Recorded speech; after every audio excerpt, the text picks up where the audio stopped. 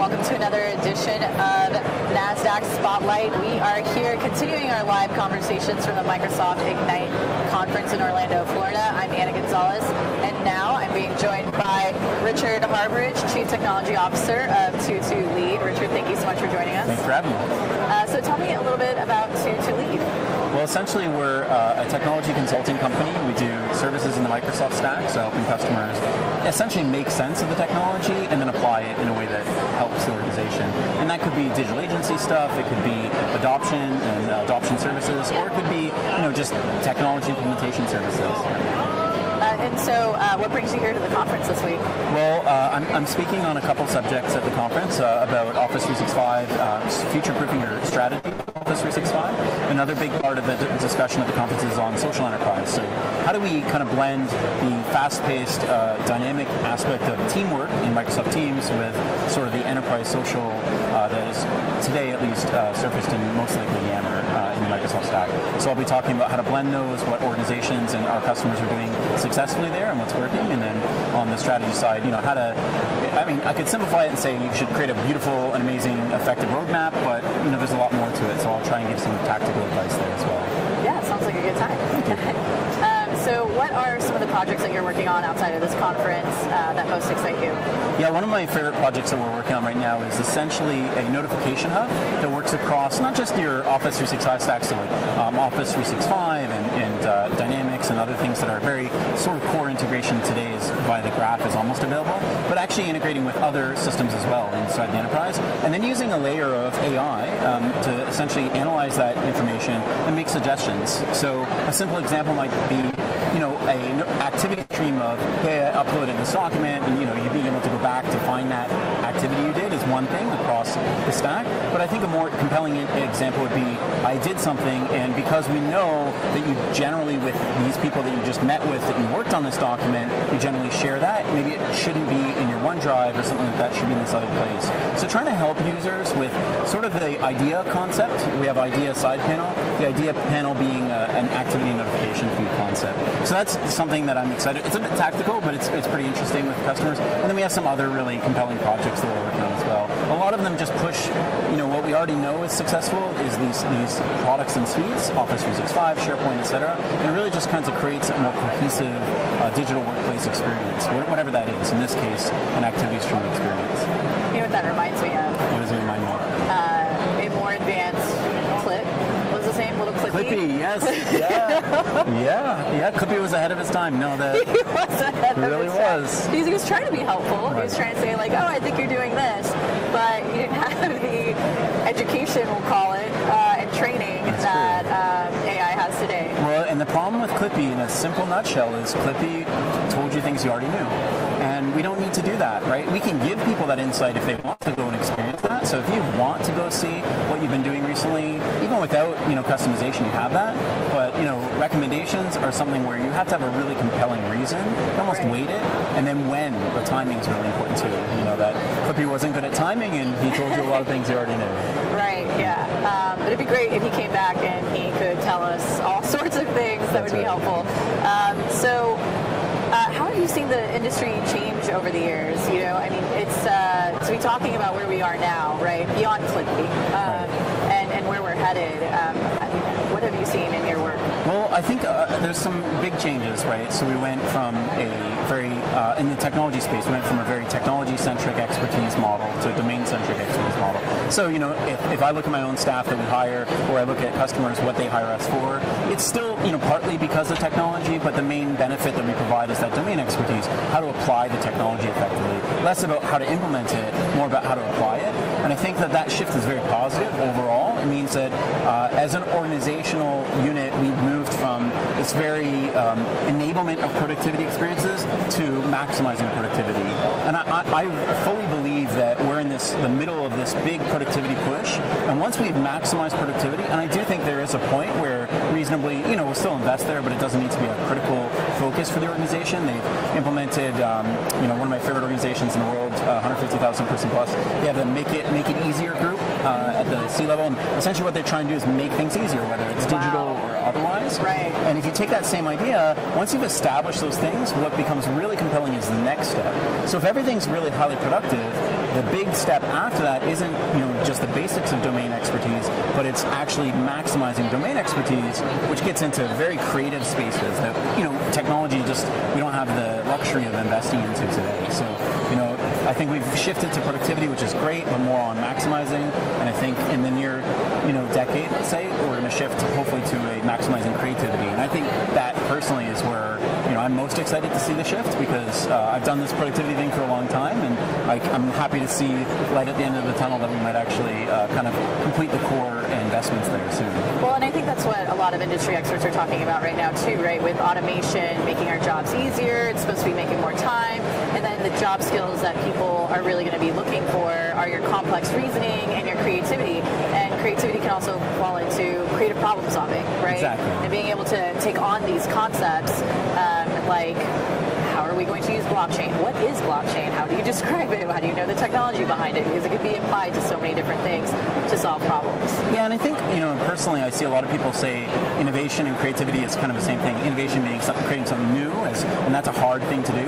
But being creative, it doesn't need to be a hard thing, right? And we see that, like, the more you can take the, the grind, the pain, the annoyances away, the more people actually literally are creative because they're freed up to maximize their time on what makes most organizations more money, which is that creative process, whatever that is, whether it's just applying, you know, a little bit of thought into this presentation to better communicate a subject, right. or whether it's, you know, something much more advanced.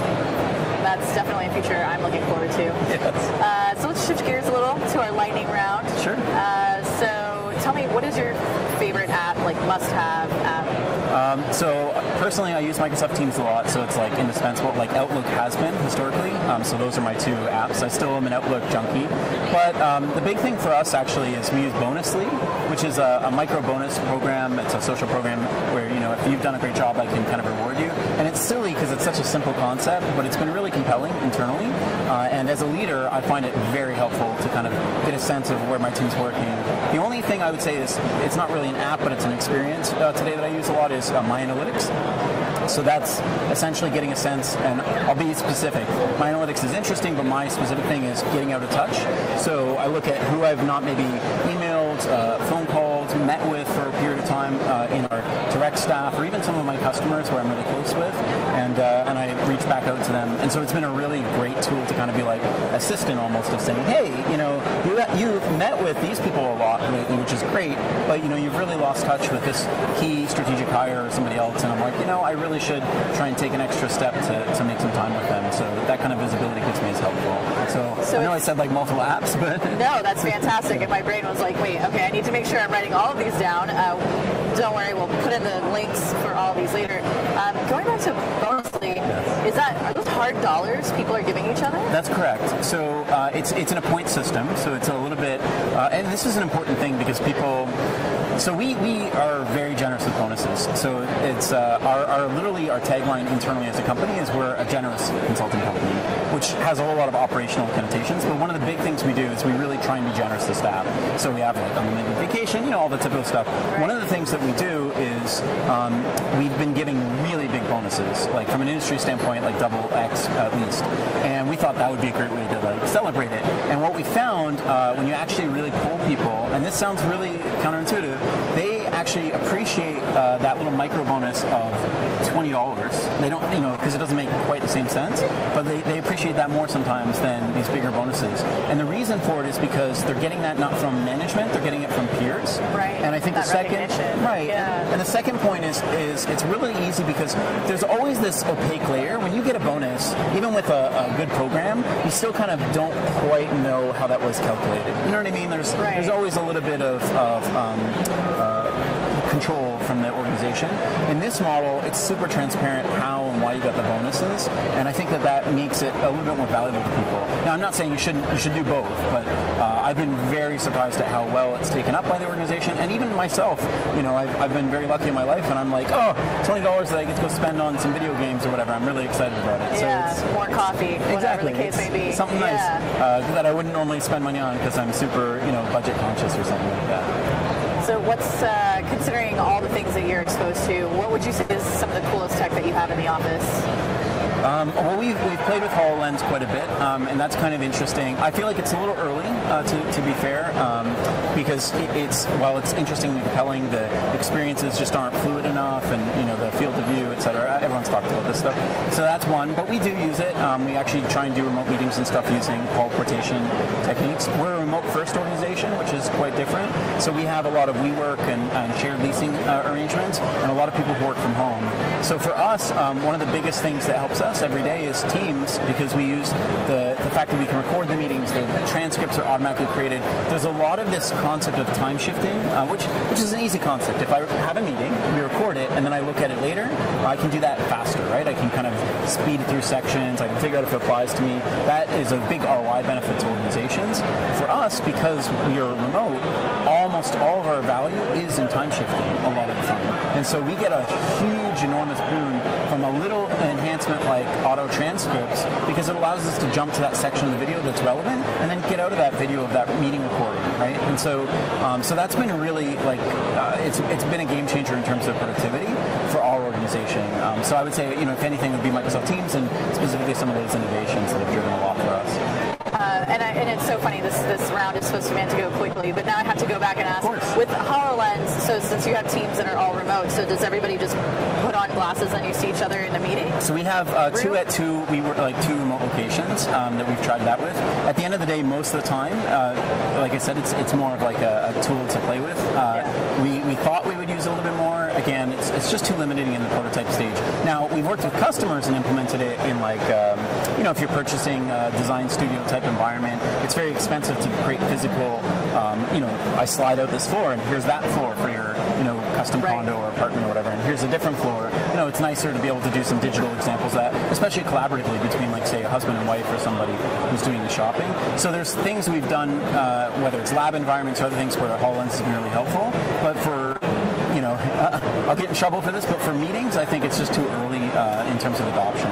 It's it's a bit bulky, it's expensive, and the experiences aren't really what you want. Teams is where it's at, and then you know uh, we saw some compelling experiences uh, for those who watched the keynote here at Ignite, where they've shown some futures uh, for teams and meetings, and I think that as HoloLens becomes a little bit more integrated in that experience in the team uh, room, in the meeting room environment, then I think it's compelling. I don't think anytime soon users, you, me, whoever is going to wear HoloLens at home, I think it's more for those um, meeting room environments. It's a, another tool just like the webcam in the meeting room is.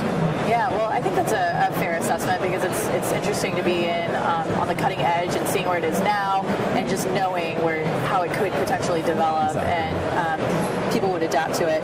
So, uh, what do you like to do when you're not working? Um, I have a uh, two-year-old uh, as of next month, and I have another one on the way. So, oh, congratulations! yes. Yeah. So essentially juggling them and, and just uh, enjoying some time at home. That's my preference. Richard, as we start to wrap up here, um, if someone's watching this and they think Richard has a really cool job, I hope to one day be in his position. Uh, what advice do you have for the future generation coming up? Yeah, I think I think there's uh, you know everyone says you know follow your passion. I honestly I think a lot of people don't understand that your passion doesn't mean it's easy. And you know, uh, passio, like the origin of passion, actually means to suffer. So it's the you know, passion of Christ, passion. So if you think about it as the key of passion is you, you have to do it because it just it feels right. It's the thing you need to do. It's important to you. Um, to understand that, that that's going to take a toll on you, whether it's emotional, whether it's effort. And I think you know, uh, for myself, what's really helped me is I've been really good about when I'm going to invest that I really have an idea of not just one way of paying that value off, but multiple patterns. And when we look at technology, a lot of times we can get stuck in, oh, I need to ramp up on Azure, or I need to ramp up on this new thing. And a lot of times what it really is, is you have to think about, like, what is this going to do for me? And, and what is my passion that underlies this? And it's okay if you don't know that answer, right? It's just work towards it. Don't give up, you know, on, on exploring that. And if you're ever in a situation where you feel this is easy, I'm doing great, switch and take a harder job. Because uh, the only way you're going to grow is if you're challenged. Those are great words to wrap up on. Thank you so much for joining us. Pleasure. And thank you all for watching. Stay tuned for more conversations right here from Microsoft Ignite.